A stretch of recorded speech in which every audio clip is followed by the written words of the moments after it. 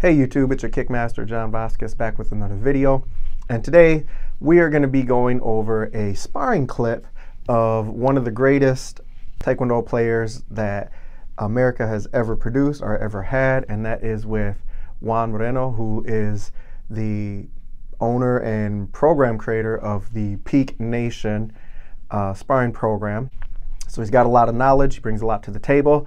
This was back in 99, I believe, maybe early 2000. It was Olympic team trials.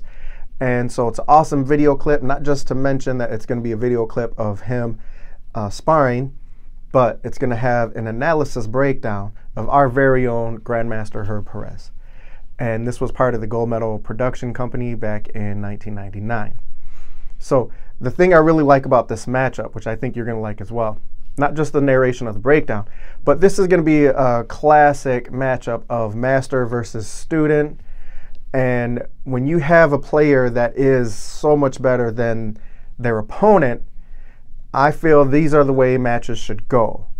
That the the lesser player shouldn't even be able to touch the other player, let alone score any points. Um, they're just going to be totally outclassed. So you're going to see that here in this matchup. And when you have a matchup like that, it should be very easy for the elite level player to win those type of matches.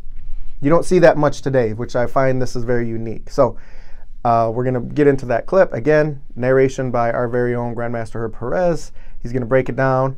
And this is round one. These are going to be three videos here for the first round, second round, and third round. All right, enjoy. In order to become a champion, you must learn how to control your first match of the day.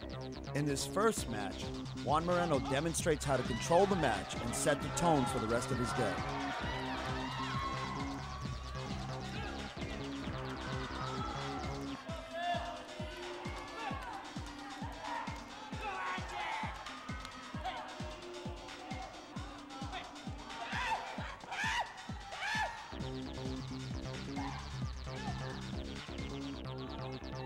Notice how Juan opened with a strong attack, trying to drive his opponent backwards.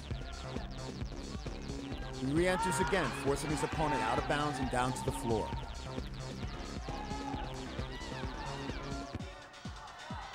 Finally, his opponent counters with a front leg whip kick that misses.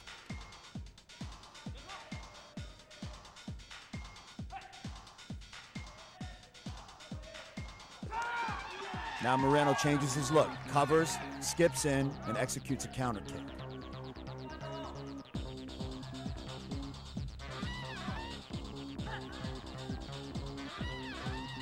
After the initial outburst, both opponents settle down, trying to find an opening in which to score a point.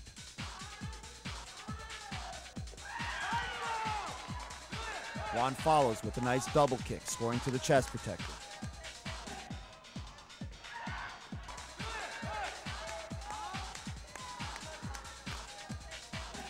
Notice how he's working his close stance attacks.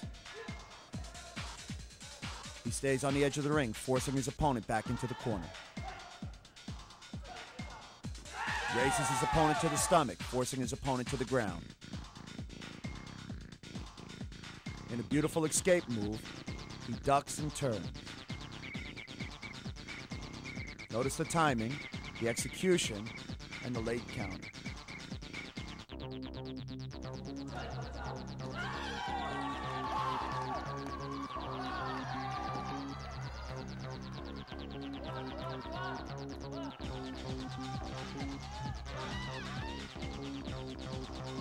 Once again, skip motion, fast kick to the stomach.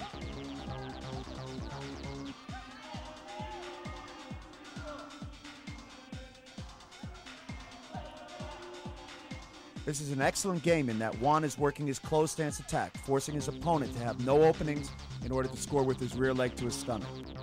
He adds a little check motion, little fake, then he goes back to regular motion.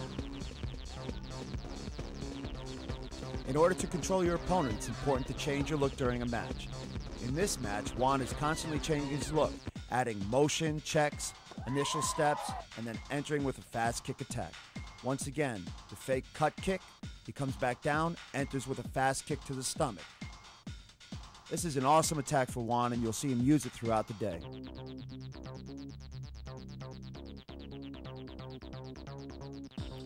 The best part about this attack is that the opponent can't read it well and doesn't escape well enough to avoid the counter or the attack.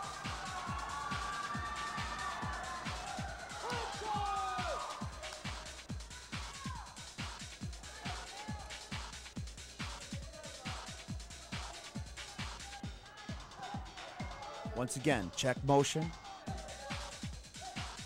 Trying to force his opponent off balance. The opponent once again doesn't step back far enough to avoid Juan's attack.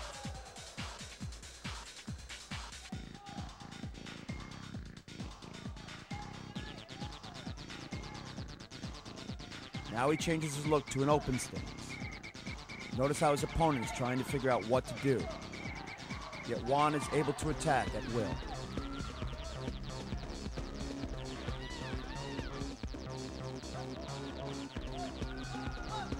One of the crucial mistakes that his opponent made was not changing his look.